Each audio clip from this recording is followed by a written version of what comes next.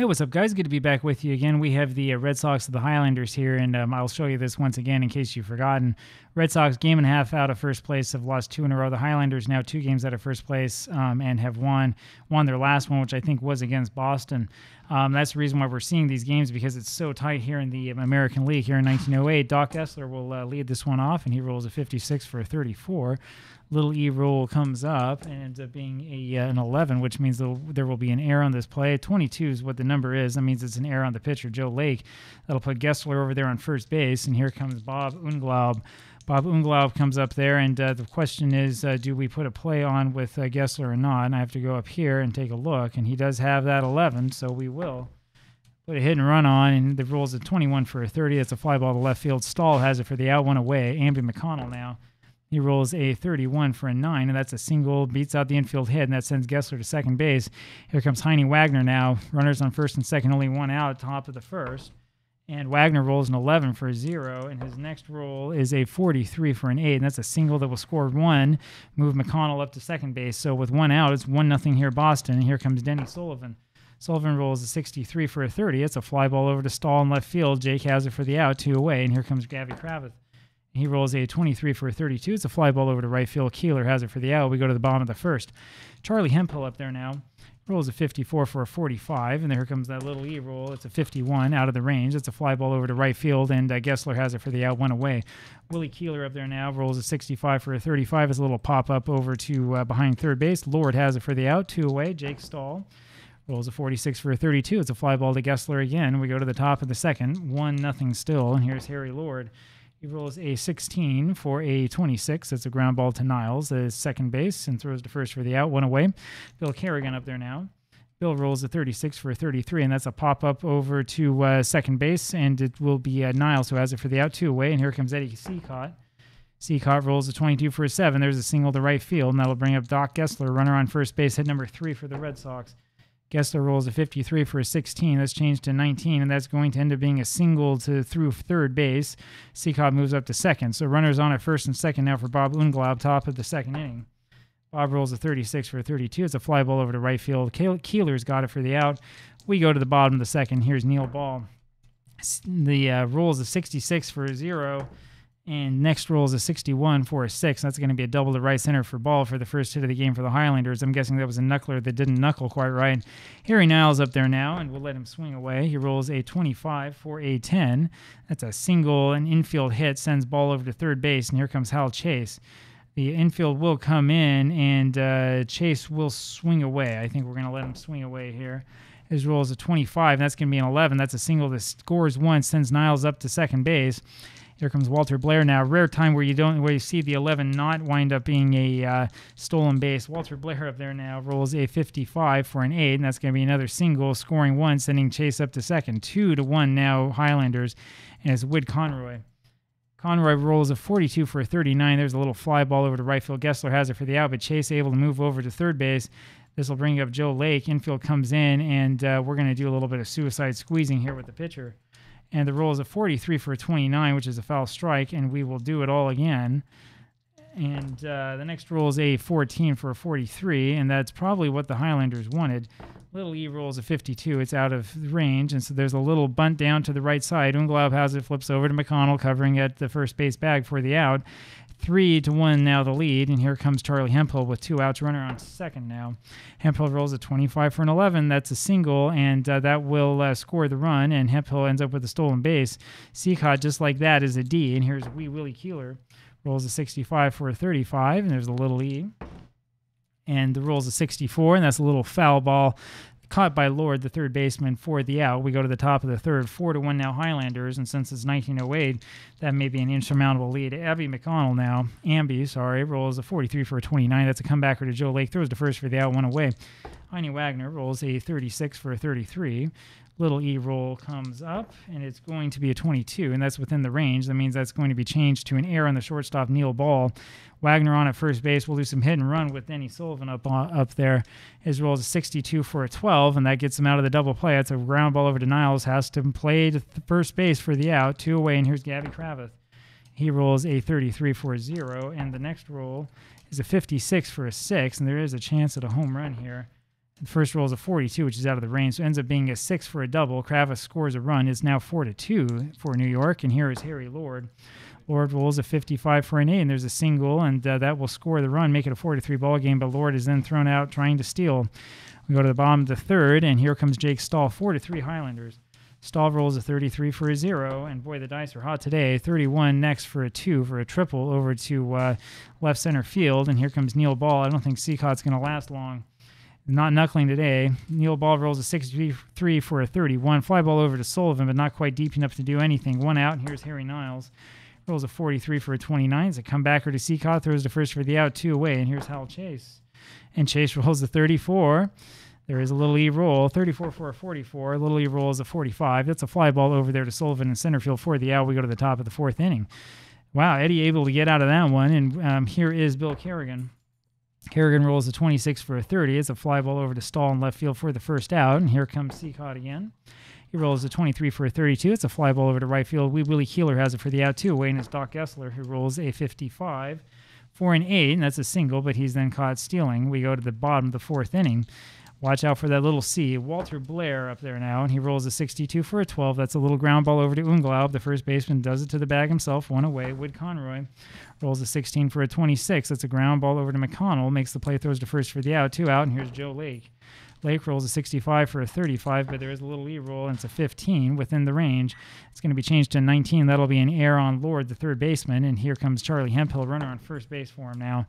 Rolls a 51 for an 8. That's going to be a single and will be a, uh, a little C for a caught stealing that will end that inning. We go to the top of the fifth inning, four to three Highlanders. This is a close game. Bob Unglaub up there now rolls a 34 for a 44. And uh, there's a possible error. It's a 63 is the next roll, and that's a, a fly ball over to Hemphill in center field for the first out. That'll bring up Amby McConnell now. One out, top of the fifth. The roll is a 66 for a zero. Next roll is a 52 for an eight, and that's a base hit over the left center field.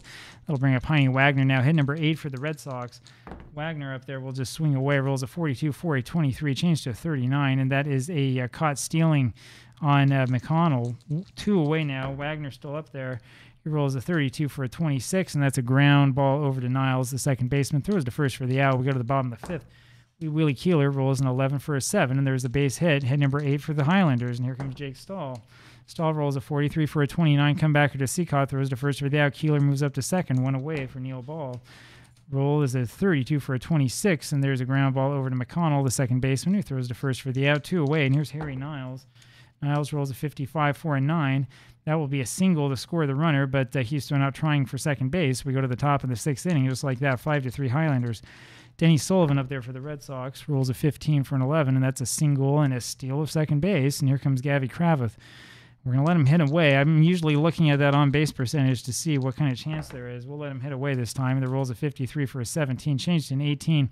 That is going to be a ground ball over the ball, and he uh, boots it, and that will be. Uh, uh, Gavvy Kravitz will uh, reach first base, and here comes Harry Lord. Now I think it's time to bunt. Nobody outrunners first and second. Here comes the bunt, and the roll is a 24 for a 13. It's a foul strike. Thank goodness nothing worse happened. Next roll is there, and it's a 15 for an 11, and that's a single that beats out the bunt for Lord, and that will load the bases. Bill Carrigan up there now. And uh, Sullivan is not very fast, but does have that 11.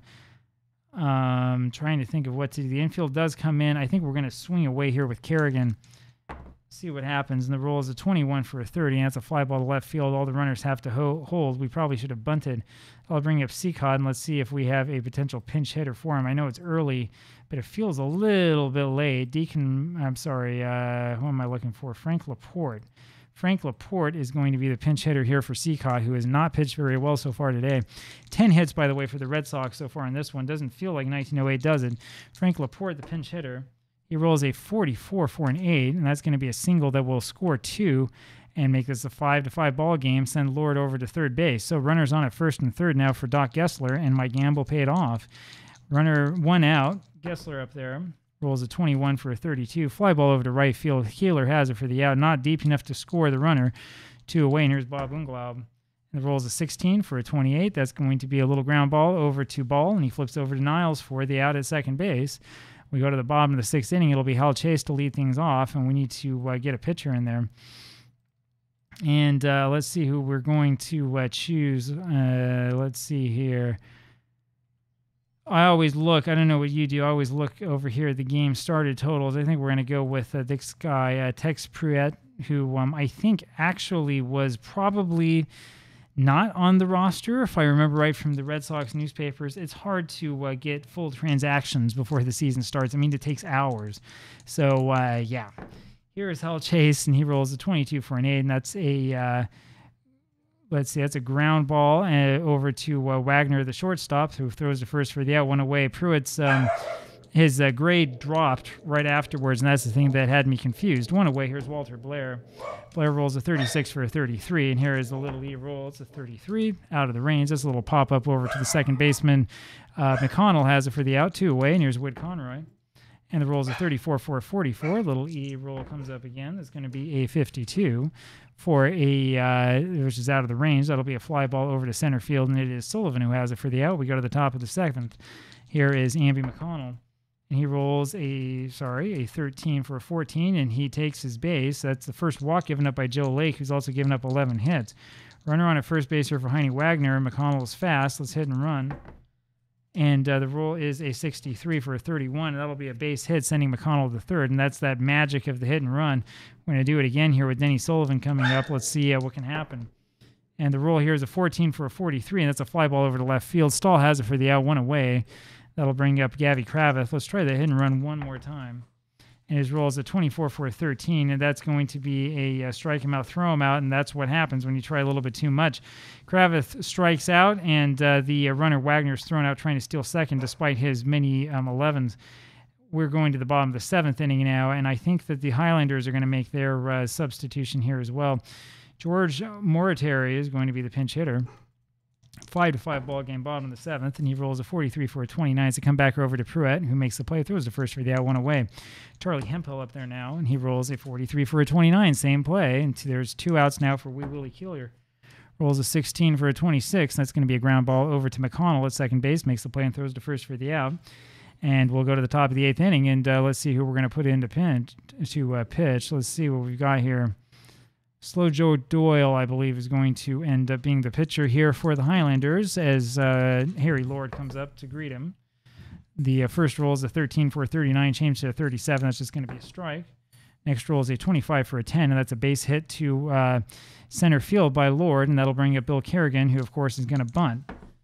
The bunt comes down. It's a 23 for a 32. That's a little bunt to the left side, and it's the uh, third baseman Conroy who makes the play, throws over to first for the out, one away, and here's Tex Pruiett. And hate to say it, he's pitched well, but we're going to have to take him out because um, we don't want to give up this chance. Jim McHale is going to be the uh, pinch hitter. And the roll for McHale is a 56 for a 34 is a high pop up uh, over to Niles, the second baseman. There's two away, and here comes Doc Gessler. Gessler rolls a 15 for an 11. That's a single that will score the runner, and uh, he ends up on that second base after the stolen base. Bob Unglaub up there now. 14 hits for the Red Sox in this one and Unglaub rolls a 64 for a 13 and strikes out. We go to the bottom of the eighth inning. New pitcher will come in here and is probably going to be Fred Burchell is going to be the new pitcher here for the Red Sox here for the bottom of the eighth inning. He will pitch against uh, Jake Stahl here to lead this off, and Stahl rolls a 16 for a 28. That's a little ground ball over to Wagner. It's shortstop. Throws the first for the out, one away. Now it's Neil Ball who rolls a 41 for a 28. Same play, shortstop the first, two outs, and here's Harry Niles and his roll is a 24 for a 13, and that'll do it. We go to the top of the ninth inning, and here is Amby McConnell, six to five now. Red Sox with the lead, and his first roll is a 62 for a 12. There is a little E possibility. It's going to be a 51, which is out of the range. That means it's a little ground ball over to Chase, the uh, first baseman who takes it to the bag himself. One away. Heinie Wagner up there now. Wagner rolls a 25 for an 8, and there's a single to left center field. Hit number 15 for Boston, and here comes Denny Sullivan. And Sullivan rolls a 42 for a 13 and strikes out two away. And it's going to be Gra- Gavvy Kravitz. And uh, he rolls a 41 for a 28. There's a little ground ball over to ball at shortstop, makes the play and throws to first for the out. We go to the bottom of the ninth. Hal Chase will lead this off. Chase rolls a 62 for a 12, but there is that little E rule, and it's going to be a 55 out of the range. That's a little ground ball over to Unglaub at first, does it to the bag himself, one away. Walter Blair now rolls a 16 for a 26 as a ground ball over to McConnell at second, throws to first for the out, two away. Wid Conroy, the last chance for the Highlanders, and he rolls a 22 for an 8. That's going to be a base hit to left center field. And so there is a chance, and uh, we're not quite dead yet. And uh, let's see if we have a better hitter out here than uh, Slow Joe Doyle. And I think it's going to be Kid El- El- Elberfeld. Yes, Kid Elberfeld is going to be up there to hit. Conroy on a first base, two outs, bomb in the ninth inning. Pressure filled moment. And the roll is a 52 for a 27. That's a little ground ball over to third base. Is going to be uh, Lord making the play, throwing to first for the out. And that does it. The Red Sox are able to come back after giving up four in the bottom of the second inning to win this one 6 to 5. 25 hits total in this game. A lot of offense in this one, surprising for 1908, I know. I hope you enjoyed this one, and I'll talk with you again tomorrow. Bye bye.